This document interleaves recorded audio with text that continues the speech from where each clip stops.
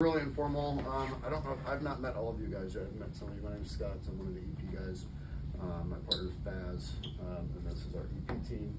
Uh, I just wanted to kind of go over just some of the procedures that we do and some of the complications that can happen and some of the worrisome signs that we would want to be notified and then kind of form a more of a, an organized communication pattern back to my team. Okay. Um, just because there has been some things that have been missed um, in translation uh, from patients here. The most extreme example is just, I think, was it a month ago? Less than a month ago, we had a guy that came uh, for routine ablation. I wanted him to stay because he had a big heart history. He refused to stay.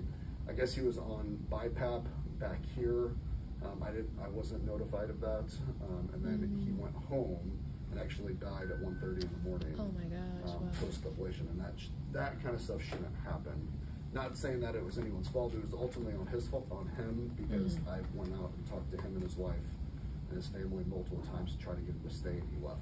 So, but I think that there could be a improvement in communication uh, for you know complications and Mhm. you know certain signs uh, that, that we need to work on. Uh, so ba- our bread and butter procedures are ablations. Mhm. Um, and so what that includes is we use ultrasound, go in uh, both uh, veins. Baz, does he still do arterial? He does, he does. Okay, so Baz's patients, um, he will have an arterial stick, um, so that leads to a little bit more complications with groin. Um, I just do venous sticks uh, for most ablations unless it's a VT ablation. Um, and so things that can happen, so if we go in through here, feed catheters up into the heart, a lot of times we go transeptal, we use a needle to poke across uh, from the right side of the heart, right atrium to the left atrium, and then we're using a catheter to burn different places inside the heart. So if you think about from that aspect, um, things that can go wrong, um, if we start at the bottom, so bleeding complications from the groin, um, anywhere up along the, the veins, uh, the IVC, you can have uh, retroperitoneal bleeds, so that would present with like back pain, hypertension. Um, a lot of the times, the acute phase, your blood pressure will drop and your heart rate won't necessarily go up um, because a lot of our heart patients are on a lot of beta blockers and, and cardizem, so you can't necessarily just look at is the heart rate going up in response to the low blood pressure. So, so any new low blood pressure um, or sustained low blood pressure, Mhm. um, that should get reported to Jenny or one of our NPs. Okay. And then, because I'm going to be in a case a lot of times, and so with Mhm. Baz, um, so any new low blood pressure, uh, you That's what, that's what I, my sheet, and I'm gonna. Make, okay, we'll make a bring copy of all this Schedule stuff. down, so they always know which. Yes, we have it through this week. I don't think we have it p- after next week. I think I, I told Jordan about that yesterday. Yeah, I'll bring it I'll over just bring, today. it- oh, are Perfect. you gonna bring the monthly schedule? Yeah. Oh, okay, perfect. Yeah. So if Perfect. we see low blood pressure, differentials for that case would be, most common is just dehydration Mhm. or um, anesthesia. Unfortunately, this is a Mhm. gray area. Sometimes it's just the anesthetic that's wearing off. Mhm. Um, but sometimes it's, you know, retroperitoneal bleed. And then the most concerning one is tamponade. Um, I think we had a case, I don't know, a few months ago um, that came back here. They actually presented with ST elevation in the inferior leads. So we Mm. activated the cath lab post ablation. Mhm. Um, and then we ended up cathing him. He didn't have, you know, a blockage, but he did have uh, tamponade. Mm. Um, and so we had to do an emergent drain and then he ended up going to the OR. Um, and so, so hypotension could be something as easy as they just need a fluid bolus. Um, and so if you guys want to start with a fluid bolus, um, that's fine. Um, uh, you know, depending on the, the EF, even if the EF's low, we can always diurese them down the road if that doesn't work. Um, but I feel like low blood pressure is probably the most ominous sign that we have. And so I think that should all get reported to Jenny. What she's probably going to tell you to do is just start a bolus um, and just just go from there. Mhm. But I feel like a lot of the times anesthesia gets called and they prescribe a medicine or do something, but then we don't ever know. Mhm. Um, you know, I don't. I'm not aware that one of my patients is hypotensive after an ablation, um, and you know they might start some, you know, levo or something. But we should be aware of that because that could be that could mean Okay. something that we need. It's a lot easier to bring them from here to the lab and to a tap versus bringing them up to the floor, letting them get Mhm. hypotensive, and then bringing them down. Yeah. Um, so, so hypotension could be a big deal. Okay. Um, Watchman procedures, the same hypotension, but then if you see a lot of PVCs, that could mean that the uh, new PVCs, like you know, they haven't been having them, and all of a sudden they're having a ton of PVCs. Mhm. Sometimes that Watchman device can dislodge and go down into the ventricle, um, and so that would be um, a new sign. Most of the time, arrhythmias post ablation aren't that uncommon. So if we do an AFib ablation, it's not uncommon in the first month or two to have recurrence of AFib. It doesn't mean that was a success or not. So we don't really need to know about the rhythms once they're down here, unless it's you know AFib and you know sustained PVCs for a PVC Mhm. ablation. We don't need to necessarily know about that. Okay. Um, but any new change in rhythm, uh, you can call Jenny or the NP. Mhm. Um, but any of the groin complications, if they're bleeding, things like that, call the um, Jordan Mhm. or whoever's on for the EP team, um, and then we'll kind of take it from there. Okay. Um, what questions do you guys have? Because I, I, we've never actually had a formal education with you guys. So, do you guys run into anything that you're wondering about in certain EP patients?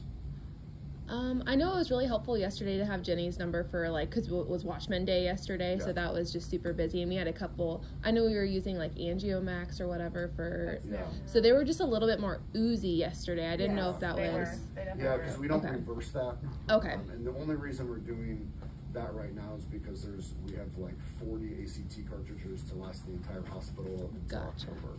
okay. Um, that and so there's sense. just a national shortage, so we're trying to do something a little Okay. different. Just Perfect. We don't want to do that long term because it's like 200 times more expensive than heparin. Gotcha, gotcha. And you can't reverse it, so. Exactly. Yeah. Well, that was just something we noticed yesterday. So we've So. turning Angiomax off like at the end of the case Mhm. uh, when doc's done, Mhm. and usually it's like 30 to 45 minutes after that their ACT is probably still high, and that's Okay. where you're going to see that oozing, Okay. and then it should start to slow down Mhm. because it reverses itself, kind of a thing. Okay. Gotcha. Yeah, That makes a sense. Short half-life. Should, so, should we be starting any um, like flat times over if they're still oozing? over. Um, like, so I you do that? close all of mine uh, Oh. with, with a little plug.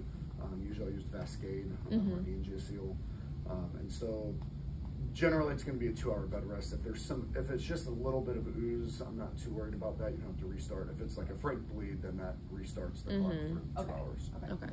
Good. Most of your access, ninety-five percent is venous. Yeah. Yes. Mhm. And Dr. Vaz is, he'll always, almost always have an arterial. Yeah, on his yeah. VT. Vaz will always Yes. have an arterial in the right Mhm. femoral artery. and I'll just do, unless it's a VT ablation, like I said, then I'll do arterial. Okay. Vaz also generally has a longer flat time than Kerber does. Yes. Typically. Because of the arterial stick. Yeah.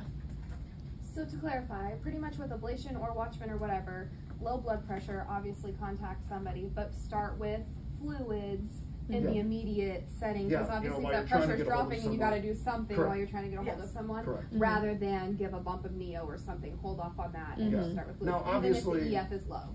Correct. Okay. Mhm. Yep. So obviously, even if, um, and if there's a special s- situation, we'll communicate that with our team, and they will communicate with you Okay. uh, when they bring the patient over. Like, hey, we just did that. This person's EF is 10. They're extremely fluid overloaded. In that case, we would say something different. Okay. Um, but I, I feel like a lot of the times, what has what I've seen happen is that anesthesia will manage it, Mhm. and they don't really know the patient like we do. Correct. We just have catheters in the heart and we're attuned to certain things. So Okay. I feel like the, the, the, the change in vital signs, like in that, that case I referenced in the first part, um, if you know someone's on BiPAP and they're struggling, um, that should get called to Jenny Yeah. or at very minimum our team, just because I, I would want to know that. Absolutely. Um, and so, um, you know, the, the change in vital signs, low saturations, um, and then the, the, the blood pressure are the, the big ones for us. Okay.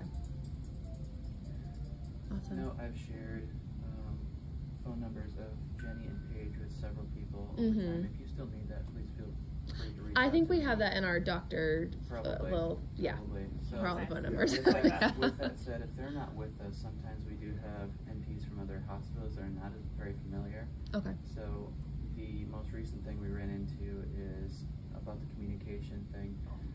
She got a couple different phone calls and they all Mhm. came up as scam likely. So she, you know, Mhm. obviously turfed them. So then to solve for that, they kind of said is maybe it's best to text them Okay. If you have Yeah, their well, number. yeah. text Especially them. because our, I was rounding with her in the Yeah. echo room, and we don't get service in the echo room. Mm. It's terrible. And so every time our phone rings, we answer it, but no one can hear us. And then we end up having to get up and walk all the way down the hall just to answer the phone call. We don't know who it is. Okay. Um, so a text message is, is fine. too. Okay. So if you if you do call and you get nobody, I would encourage you to text. Okay. Immediately after, Okay. just to kind of keep that. Yeah, good to know. Communication moving. Okay.